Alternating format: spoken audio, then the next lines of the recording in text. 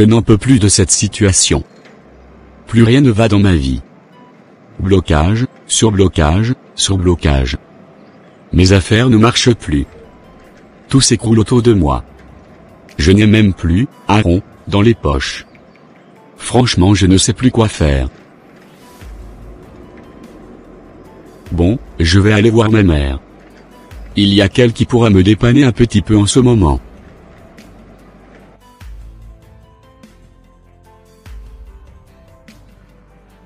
Bonjour mère. J'ai pas réussi à te joindre sur ton téléphone depuis quelques jours. C'est pour ça que je suis directement venu sur ton lieu de travail. Ah d'accord Ézéchiel. Mon téléphone était en panne. Qu'est-ce qui te ramène ici? Et pourquoi t'avais envie de me voir? Oh maman. J'ai vraiment besoin de ton aide. Je n'en peux plus vraiment de la situation que je traverse, en ce moment. Je suis tellement dépassé. Tous les jours c'est des blocages. Plus rien ne va dans ma vie. J'arrive plus, à, avancer maman. On dirait qu'il y avait une force, qui me tirait vers le bas. J'ai vraiment le moral à zéro. Vraiment je ne sais pas ce que j'ai fait au bon Dieu, pour qu'il me punisse autant. Ah oui. Mon fils Qu'as-tu fait de si grave à l'éternel des armées? Car il y avait, un an de cela, tout marchait très bien pour toi. Tu avais signé un gros contrat, dans une compagnie, et tu gagnais très bien ta vie. Mais bizarrement, te revoilà un an après, complètement fauché. J'en suis sûr que tu as désobéir à l'Éternel, en t'éloignant de lui. Car il ne délaisse point ses enfants. Oui, c'est peut-être, vrai, maman. Mais sans te mentir, je ne sais pas exactement ce que j'ai pu faire à l'Éternel, pour que tout s'écroule autour de moi. J'ai déjà confessé tous mes péchés à Dieu. Mais pourtant rien n'a changé dans ma vie. Ah ok. Tu sais, je viendrai te chercher tout à l'heure à la maison, quand je sortirai du travail. Comme ça, on ira voir un frère en Christ qui priera pour toi. Ok ça marche maman, on fait comme ça. Tu sais Ézéchiel, depuis tout à l'heure j'ai pas arrêté de penser à toi. Ta situation m'a tellement touché. Je continue toujours à me poser des questions. As-tu quand même demandé à Dieu de te révéler ce qui était à la base de tout cela? Non, maman, j'y ai pas pensé. J'ai juste demandé à Dieu de me pardonner pour tous mes péchés que j'avais commis dans le passé. Ah d'accord, ok ça marche. Je pense que le frère Gabriel nous aidera un peu plus, à voir clair, dans cette histoire. Ok ça marche, mère.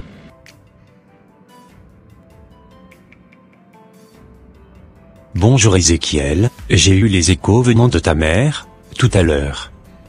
Je sais que, ça ne va pas trop bien, en ce moment pour toi. Oui mon frère, je suis complètement fauché, en ce moment. Plus rien, ne va dans ma vie. Oui ta mère m'a déjà tout expliqué. Tu sais, on va prier ensemble pour demander à Dieu, de nous révéler ce qui était à la base, de tout ce malheur dans ta vie. Ok ça marche, Gabriel. Oh, Père. Me voici devant ta sainte face, avec mon frère Ézéchiel. Ta parole déclare, dans Jérémie 33 verset 3, que, invoque-moi et je te répondrai, je t'annoncerai de grandes choses, des choses cachées, que tu ne connais pas. C'est pour cela que je t'invoque Père. Révèle-nous les choses cachées qui sont à la base de tous les malheurs dans la vie de mon frère Ézéchiel.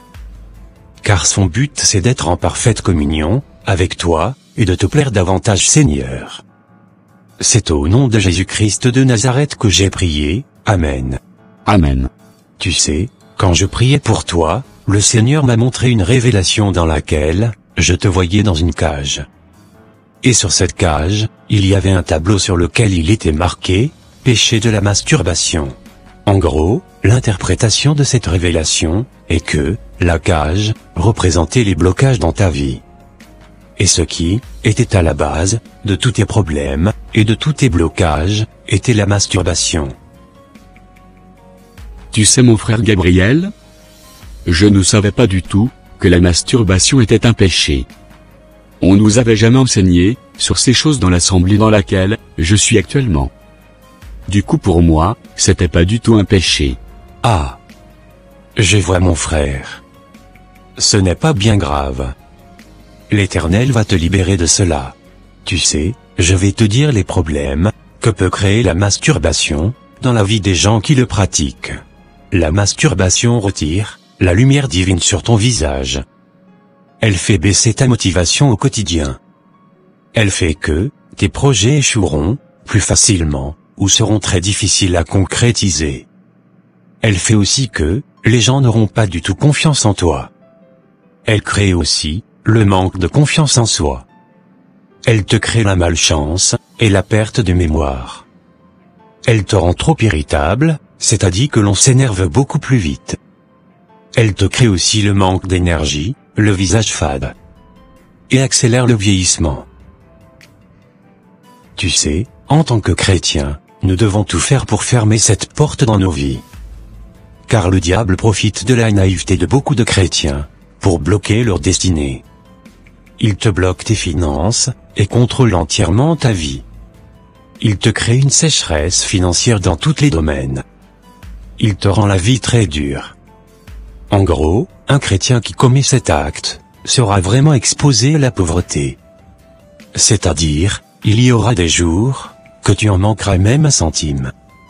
Il peut aussi profiter de cela pour te créer des problèmes dans ton couple. C'est-à-dire les problèmes d'impuissance sexuelle, d'infidélité, et d'infertilité. Etc. Vraiment il est tellement dangereux, et très déconseillé aux chrétiens de se masturber. Ah oui. C'est chaud, mon frère. Je comprends maintenant pourquoi mes problèmes ont commencé il y a juste un an. Car, c'est exactement, à cette même période, que j'avais commencé, à me procurer du plaisir moi-même. Je ne savais pas du tout que ce petit moment de plaisir, pouvait me créer autant de problèmes dans ma vie. À partir d'aujourd'hui, je ne le ferai plus jamais. Je prends vraiment l'engagement devant l'Éternel, de ne plus jamais refaire un truc pareil. Oh Béni soit le Dieu d'Abraham, d'Isaac, et de Jacob. Béni soit le Dieu, qui révèle toutes choses cachées, que nous ne connaissons pas. Voici maintenant, ton fils Ézéchiel qui se répand, devant ta sainte face, ô Éternel. Veille, accepter son pardon, car tu es le seul Dieu miséricordieux, qui pardonne tout péché. Je t'en supplie avec larmes, Éternel. Délivre-le, de la masturbation, et de la prison dans laquelle il se trouve. Délivre-le aussi de la main, de tous ses ennemis Seigneur. Restaure son âme, et restaure tout ce qu'il a perdu. Augmente-lui la foi, et s'il te plaît accepte qu'il puisse à nouveau, trouver refuge auprès de toi. Et c'est au nom de Jésus-Christ de Nazareth que j'ai prié, Amen. Amen. Va, dans la paix du Seigneur, et ne pêche plus mon frère. Merci beaucoup Gabriel. Que Dieu soit loué pour cela. Je me sens vraiment libre, et soulagé mon frère. Amen, et rendons infiniment gloire à l'Éternel des armées pour cela. Depuis que j'ai arrêté la masturbation, ma vie a complètement changé. J'ai repris goût à la vie. J'ai retrouvé confiance en moi. J'ai retrouvé un travail, et mes affaires, marchent de nouveau. Je me sens plus proche de l'éternel quand je prie. Et vraiment, je ne sens plus aucun blocage. J'ai presque récupéré tout ce que j'avais perdu. Mon âme est dans la joie, et je me sens tellement bien dans mon corps.